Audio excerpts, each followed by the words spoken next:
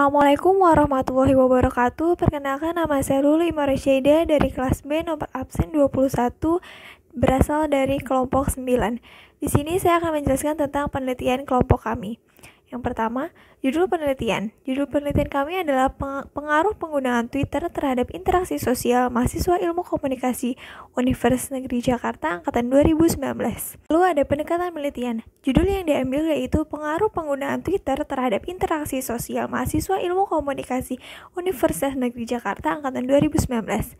Lalu, menggunakan statistik dan mengumpulkan data-data dari responden secara sistematis yang dapat memenuhi variabel penelitian dan sudah terstandarisasi. Lalu ada metode penelitian. Penelitian ini menggunakan metode penelitian survei. Survei yang berdasarkan ke dalam asumsi bahwa hipotesis keabsahan sosial yang dibuat berdasarkan fakta yang tetap dan objektif berdasarkan judul yang diambil yaitu Pengaruh Penggunaan Twitter Terhadap Interaksi Sosial Mahasiswa Ilmu Komunikasi Universitas Negeri Jakarta angkatan 2019, kami menggunakan metode survei dengan cara menyebarkan angket melalui G-Form dan membagikan kepada responden.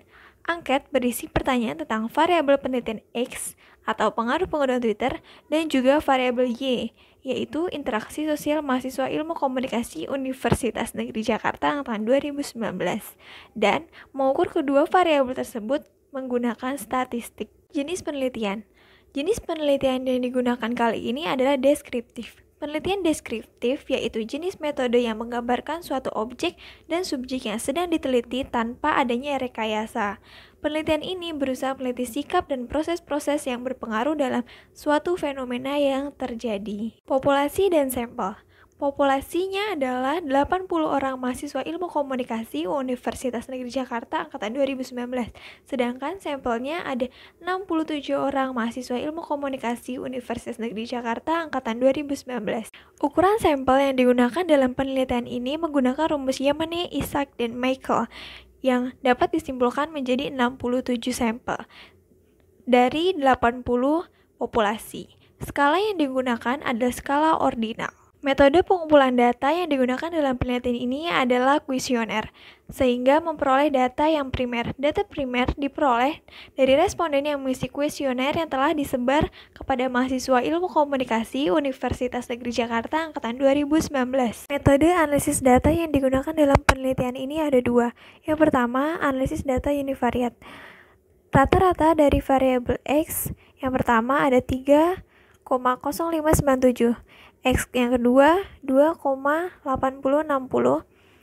variabel X yang ketiga 25970 variabel X yang keempat 2,1642 variabel X yang kelima 1,9851 variabel X yang keenam ada 2,3433 variabel X yang ketujuh ada 2,5821 sedangkan pada variabel Y yang pertama ada 2,7164, Y yang kedua 2,6418, variabel Y yang ketiga 2,3433, variabel Y dan yang keempat 2,3284, variabel Y yang kelima ada 2,8060, variabel Y yang keenam ada 2,6119. Lalu yang kedua ada analisis bivariat.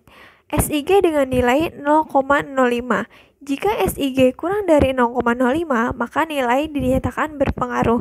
Jika SIG lebih besar dari 0,05, maka nilai dinyatakan tidak berpengaruh.